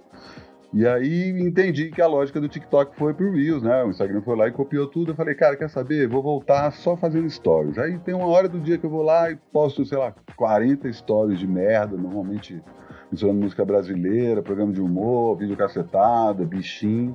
E, eventualmente, eu falo dos cursos da Universidade do Trabalho Sujo, que eu finalmente tomei vergonha na cara e estou dando curso online sem precisar estar vinculado a outra instituição. Estou gerindo o meu próprio negócio. E Boa. aí a Universidade do Trabalho Sujo acabou de lançar dois cursos, um deles tem tudo a ver com esse papo aqui, que é o Todo Disco. Antes eu fazia uma série de encontros presenciais, chamando artistas para dissecar discos, seus discos, né, discos recentes. Eu já fiz isso com a Karina Boa, Luísa Lian, Cidadão Instigado, Siba, é, Maurício Pereira, enfim, tanto no Espaço Cult quanto na Unibis, Ava Rocha, enfim, quanto no Lab Mundo Pensante.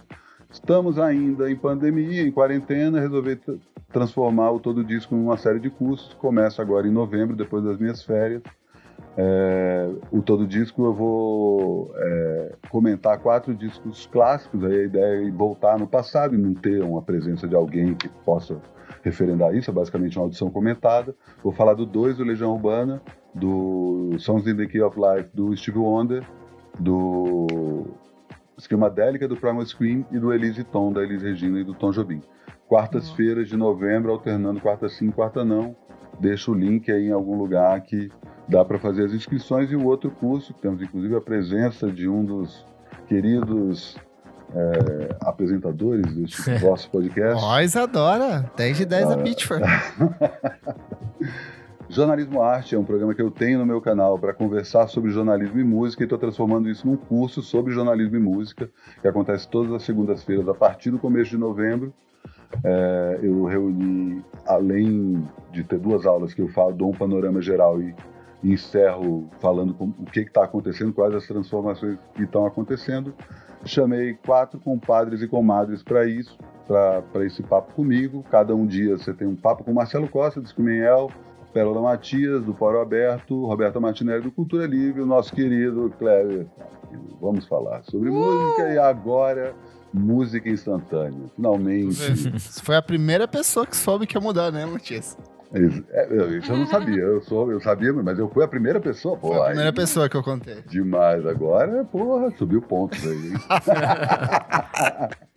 mas é isso. Estou nas redes sociais. Também dá para me encontrar no YouTube. Estou lá direto. Agora na na, nas minhas férias, né? Que eu vou tirar férias até o final de outubro. Finalmente volto para o Planalto Central, ver meus pais. Boa! É, eu tô parando com os outros programas, os programas noturnos do meu canal. Todo dia tem dois vídeos no meu canal. E tô só mantendo climatias em tom de recitar textos que foram mandados por amigos meus. Então tô lendo poesia, lendo ensaio, enfim, tá lá todo dia. Climatias não pode parar. Então segue lá, tudo gravado, já tá tudo gravado, é só dar notícia ali. Se por acaso tiver algum dia que não apareceu um climatiza, aconteceu alguma merda. Eu não tô deixando programado, não. No dia eu vou lá, entro no YouTube só para subir o vídeo e pronto. Mas é isso, queria agradecer imensamente aí a, o convite, estava esperando essa hora e pode chamar para mais, viu? Não precisa só pegar velharias, não. Eu, eu, eu acompanho. Juventude acompanha. Obrigadão, Matias. Valeu demais. Tudo. Matias se despede aqui, mas a gente segue. Vamos pro próximo bloco do programa. Não paro de ouvir.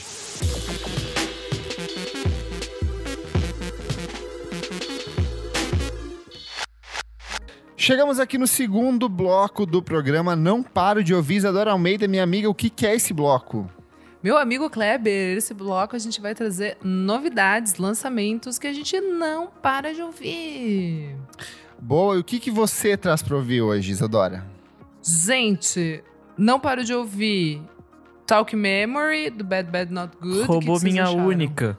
Ih, amigo, então vai. Então, vamos então junto, vamos junto. Porra, é. que descasso, assim, tipo, as- a orquestração junto com o Arthur Verocai, acho que são umas três ou quatro músicas ali dentro, é, é, assim. é ele, né? Assim, o, o álbum ganha vida por, por causa do Verocai. He's the man.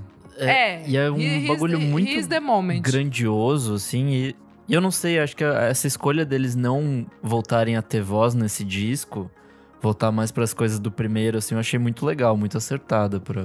Eu acho que aí foi o que pesou pra mim. Sério? Eu senti falta. É porque eu acho que é, Time Moves Slow é uma das grandes canções da década passada, assim.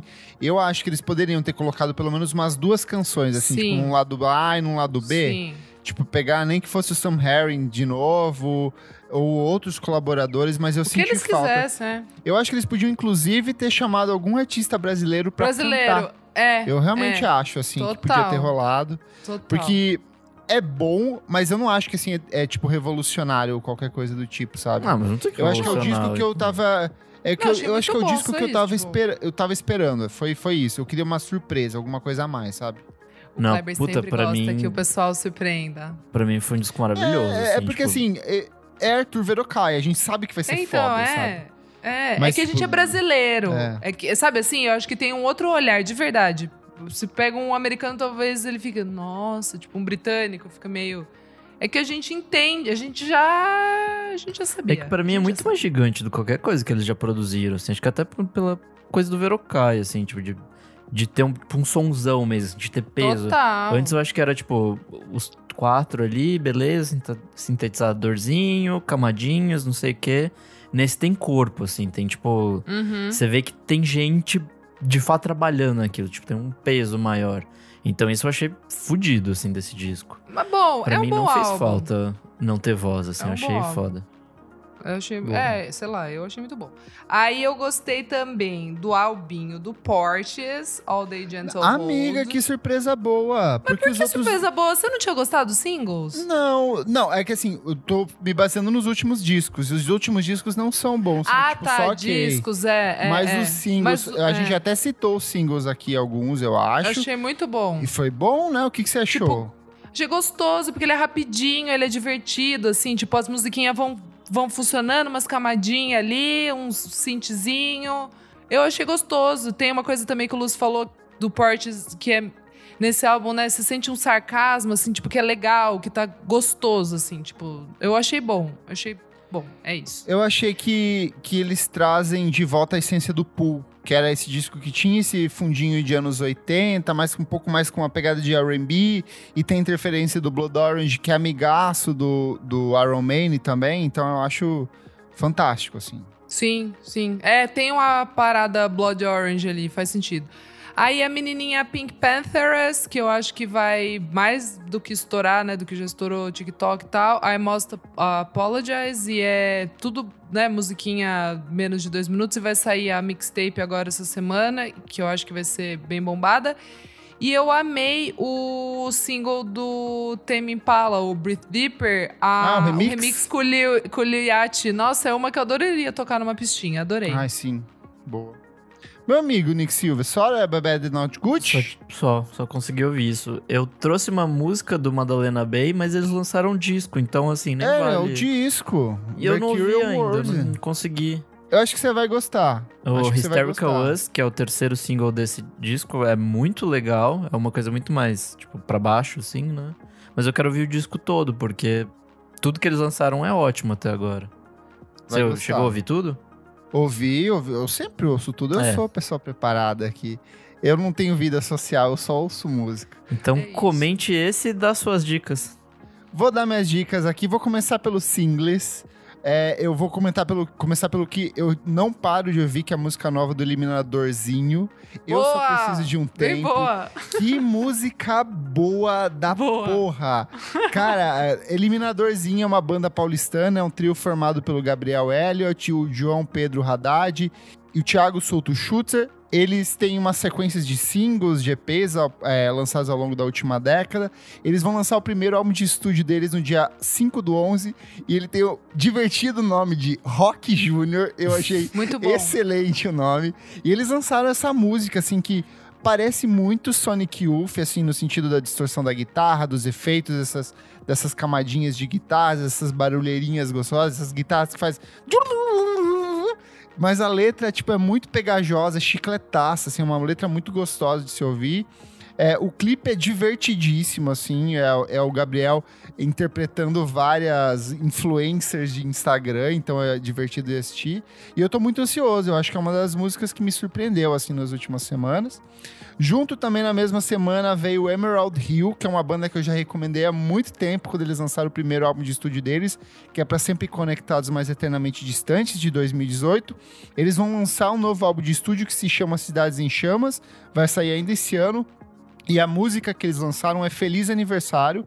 Ela vai muito mais pro Dream Pop, pro Synth Pop pros anos 80, mas continua com umas letras muito confessionais, que é uma das marcas dessa banda que é de João Pessoa.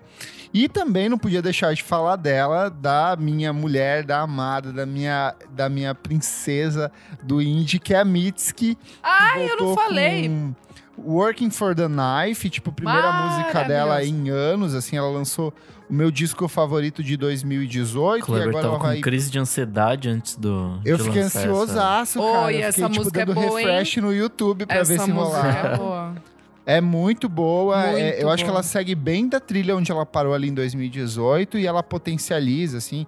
O E tá clipe certíssima. é um espetáculo, assim. O clipe Chique. é de uma. Cara, como ela é boa. Eu quero muito. Queria muito ver um filme que algum diretor chamasse ela pra atuar em um filme. Assim, eu acho que ela tem uma, uma, uma, uma entrega artística, uma coisa assim muito forte. Discos. Madalena Bay com Mercury Words. Madalena Bay é uma dupla californiana que a gente já recomendou nas últimas semanas. E vem com esse disquinho assim que se você é fã de Quero Quero Bonito, Grimes, gosta desse pop estranhinho, assim, com muitos sintetizadores, você vai gostar do álbum deles. Outro que me surpreendeu e que eu achei que meu amigo Nick ia recomendar é o The World's a Beautiful Place, consegui ouvir. Afraid to Die Sem com. Illusory Walls. Muito bom. Eu acho que eles conseguiram trazer essa essência de, do rock emo dos anos 90 ali. Então, com, com muita. com umas melodias muito marcantes. Tem uns flates ali com Sunny Day Real Estate. Delicioso. Disco de bom demais. E eu queria perguntar pra minha amiga Isadora o que, que ela achou do disco novo do James Blake. Amigo, não vi. Juro por Deus. Vocês estragam toda a dinâmica que eu penso. Juro por Deus que eu não ouvi. Vai, tá, vai. É, então, eu. eh, Gente, eu, tô- já, eu já tô chegando, né? Tipo, outubro eu já vou dando uma. eu co- Eu começo a ficar meio exausta, assim, tipo, em outubro, de, de ouvir tanta coisa. Minha cabeça. Eu não sei, eu tô meio programada pra isso.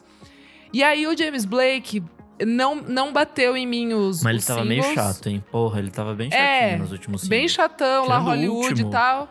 O, o resto, assim, eu achei meio... meh. Então, mas, enfim, é... E aí eu queria, e aí eu queria que alguém me convencesse também pra eu dar o play. Então vai, me convence. Vamos lá, eu acho que é o disco mais fraco da carreira dele, sim. Mas isso não quer dizer que ele seja ruim.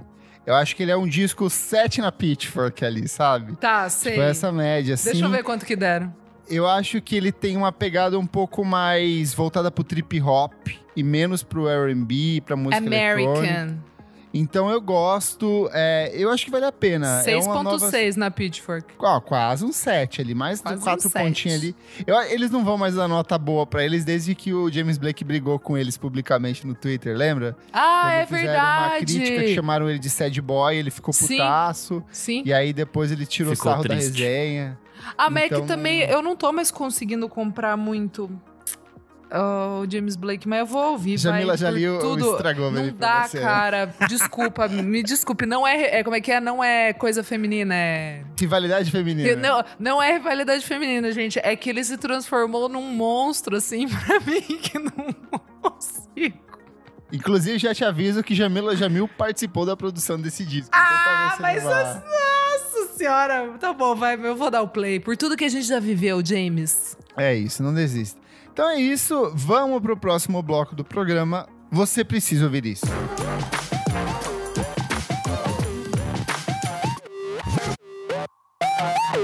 Gente, começando o nosso último bloco, você precisa ouvir isso. Nick, o que, que é esse bloco? Nesse bloco, a gente dá dicas de coisas atemporais que podem ou não ser relacionadas ao mundo da música. E você, meu amigo, o que, que você traz?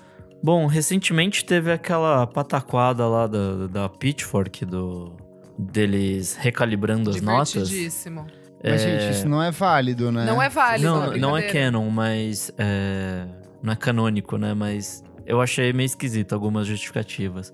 E uma Ah, delas foi a do Foxgen, com o primeiro disco deles. Péssimo! Péssimo eles abaixarem. Porra, eles abaixaram Péssimo. pra caralho. Esse disco é maravilhoso. E o álbum continua sendo foda. Eu fui até ouvir de novo. Honrem o Richard Swift. Esse álbum é foda pra Gente, caralho. não dá pra levar a sério um texto que dá nota 7 pro primeiro disco do Interpol. O único disco bom dele. Não, e eles abaixaram, né? Era 9 e eles abaixaram pra É. 7. Eu falei, gente, que droga vocês estão Mas, usando? ó, eles, come- eles fizeram umas coisas que eu achei justas. Tipo, o Vrum Vrum da Charlie, que Claro! tinha uns marcos, tem, Tipo, tava quatro, claro. sabe? Achei justo. Ali dando O da PJ, teve várias coisas É, que foi- realmente precisava. Mas, Mas mano, foi só pra. Cara, se.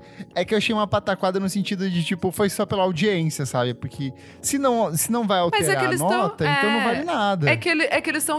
Eu achei engraçado porque é um formato pra você celebrar os 25 anos da Pitchfork, tipo, de uma, de uma É maneira especial, divertida. né? É. E sabe o que eu acho que. Essa que foi a jogada que eu achei brilhante? É por essa nova geração de jornalistas entenderem que as coisas são uma piada, assim, que, que não é pra você se levar tão a sério. Por que, que vocês acham que eles pegaram o álbum da Chairlift pra aumentar um ponto? Tipo, foda-se, nem faz ponto, tanto foi tempo. Mais. Foi um ponto. Não, Ou um ponto e meio. Amigo, Eles foi um ponto. 85. O anterior não tinha, era 7.6. 09, é. Gente, qualquer coisa. É, tipo, muito É, pouco, Maria assim. Lua falando aqui também do Ren, do Daft Punk, que eles diminuíram. Do Random é, é tipo. Eu acho que gente, essa discussão que a gente tá tendo aqui Foi- vai ser foi- bom na próxima semana no papo que a Sim. gente vai ter. Sim, mas enfim, Nick, pode falar. Então, É mas eu o que eu quero falar, na achei- verdade, é do disco do Foxygen. We are the 21 First Century Ambassadors Ambassador. of Peace and Magic. Que disco maravilhoso. Eu não É lembrava bom. que ele era esse tão bom. álbum. Nossa, Ele é é, muito muito, bom. bom. É um dos ele é um dos que que eu sempre. Eu, eu também. 2003, é. Eu também. Nossa, é tipo 13. psicodelicaço, assim, de, de coisas dos anos 60 e 70 ali. É Pra- bom demais esse álbum. Puta, foda, foda demais. Ele é liquidificador de muita coisa boa. God save us, put the pieces back together. Gente, esse álbum é perfeito. Não, é. Hoje em dia eu acho que a produção pequena. podia ser um tiquinho mais legal, Para, assim. Mas é- é um para. puta Ai, disco, gente, assim. não é. Não É o precisa. Richard para- Swift, não- é bom demais. Para com isso, para com isso. Os É caras lançaram esse disco agora estão assinando a produção de Deus e o Mundo. Todo Fizeram mundo. produção Sim, do sim. The Killers, Lana Todo Del Rey, todo mundo. mundo tá trabalhando com eles. Sabe o que, que foi? Foi um, foi um vale-refeição pro mundo. Sabe assim? Tipo, eles deram esse vale e todo mundo pegou o vale, assim. Porque puta que pariu, agora eles produzem realmente todo mundo certíssimos. Daí o outro álbum é mais ou menos, assim, tipo, é ok. O próximo deles é mais ou menos, e é isso. Daí acabou. Enfim, é, ouçam Foxygen, bom demais. E é isso aí. Maravilhoso. Vamos lá, Klebers. Eu vi uma série na Netflix que eu acho que a minha amiga Isadora vai adorar, que se chama O Homem das Castanhas. É, em Ah, dinamarquês conta. é Kastange Maiden. É uma Apareceu série sobre assassinato. É, em resumo, mulheres mães são assassinadas e começam a ter um membro do corpo decepado. E na cena do crime, eles encontram um bonequinho feito com castanhas. é, não tem no Brasil esse tipo de castanha, mas é uma castanha como se fosse uma noz. Tipo, um bonequinho nessa cena do crime. E aí, a partir disso, a investigadora, que também é uma mãe, uma mãe com problemas, começa a investigar isso, vai tentar descobrir quem que é o assassino, por que, que ele está fazendo isso. Ela tem seis episódios, é uma produção dinamarquesa. Eu amo série de assassinato de serial killer que se passa, tipo, em cenário nórdico, com, tipo, neve sim, e afim, sim. sabe? Por que que É- gru... é, é, pega mais, né? Ele fica mais, não sei, pra fica mim, meio... É, não tem nada demais nessa série. Ela, é, tipo, não é nem, por exemplo, é porque eu acho que Mare of É Easttown colocou... Easttown, não, é. Mare of Easttown pra mim é um caso à parte, assim, é excelência em, Colocou em em patamar. termos de o série. É, que outro muito patamar, tem uma coisa de sensibilidade feminina, de um aprofundamento técnico ali, de discutir várias relações que a gente às Sim. vezes nem percebe. Essa é muito mais superficial, é muito mais simples ali. Seis episódios, fiquei puto da cara porque eu não descobri o, assassino e eu gosto muito de descobrir quem é. Então, vale a pena pra você se divertir, assim, tipo. Então, dá uma, dá uma chance pra essa série. Bem Eu boa. quero ver a versão Boa. brasileira que se passa no Brasil e no Pará. O Homem da, Castanha do Pará. Exatamente. É. O assassino é o Chimbinha. e você, minha amiga Isadora Almeida? Gente, pra quê, né? Fui assistir ontem, domingo, pra quê? Dei o play em Scenes from a Marriage. Do, Porra, da é HBO, pesado. a série nova lá, que é baseada no, na história do, do Ingmar Berg, Ingmar Bergman. do Ingmar Bergman. E aí, gente, Ingmar que... Bergman. Ingmar. Ingmar. Ingmar, Ingmar, Ingmar Bergman. Bergman. E aí, como. rep- Aí, tipo, eu dei o play. E eu falei, só vou assistir um, né? Tipo, ah, vou assistir um, é porque é aquelas DR infinita. E aí que eu assisti tudo, gente, porque ontem saiu o episódio final. Já acabou? São o quê? Quatro? S- É, cinco. Cinco? É com a Jessica Minissérie- Chastain É, e com e o Oscar Isa- Isaac. O- Oscar Isaac. É. Gente, nem sei o que falar. Eu não consegui Que terminar, amiga. Eu vi dois e eu fiquei destruidaço, assim. Eu falei, chega, não quero mais.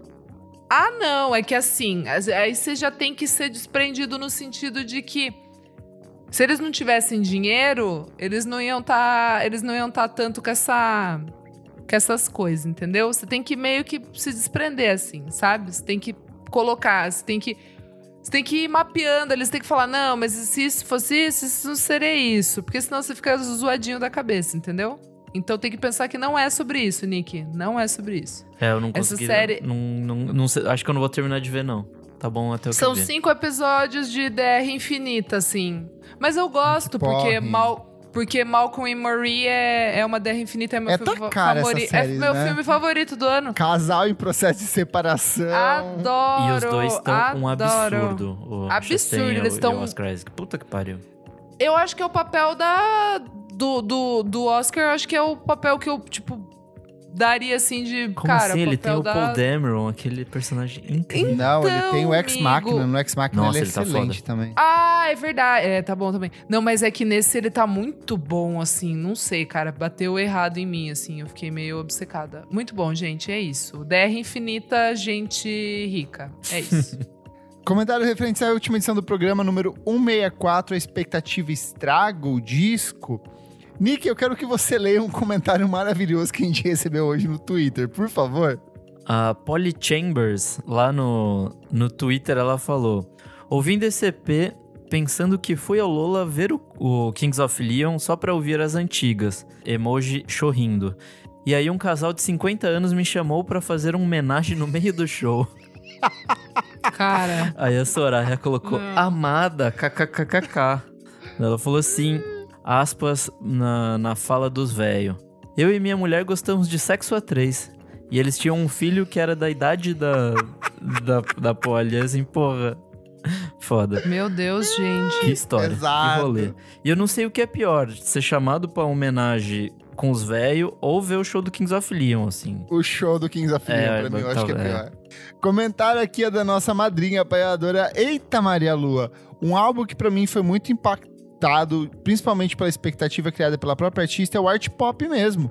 Hoje, ouvindo em retrospecto, até gosto bastante e acho que poderia ter sido uma era de sucesso se não fosse esse problema e a divulgação tosca, que é um caso clássico da Lady Gaga, que Deus o tenha, imortal nos seus versos, boa. Ó, gente, o Mano Menezes S. Criei muita expectativa para o Evermore da Taylor Swift, porque amei o folclore. A parceria com Jack Antonoff é bem interessante, mas nesse disco senti uma irregularidade grande.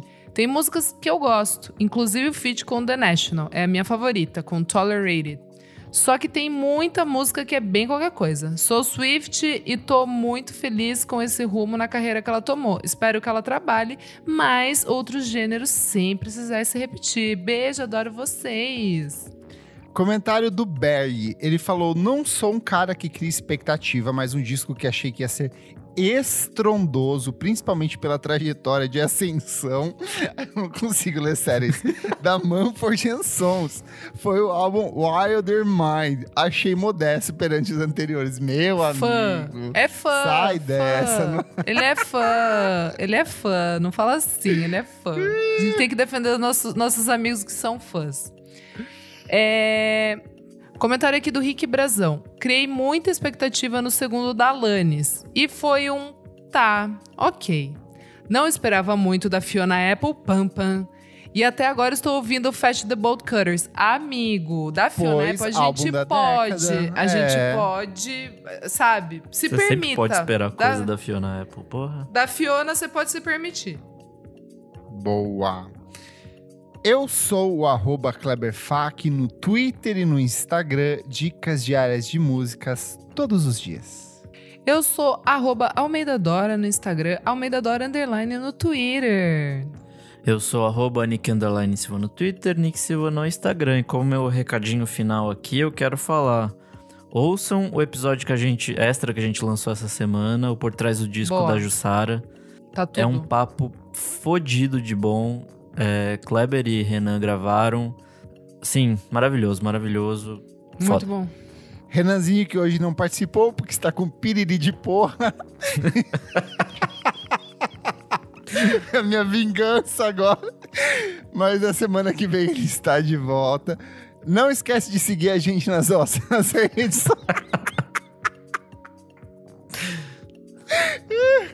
Não esquece de seguir a gente nas nossas redes sociais, arroba podcast VFSM no Twitter e no Instagram.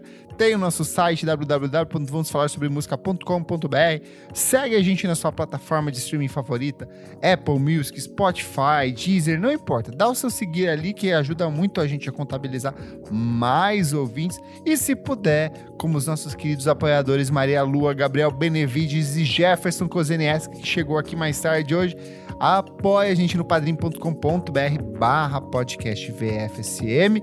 Muito obrigado pela sua audiência e até a próxima edição. Tchau, tchau. Tchau.